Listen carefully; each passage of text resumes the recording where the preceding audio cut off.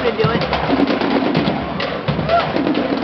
I'm so bored right now.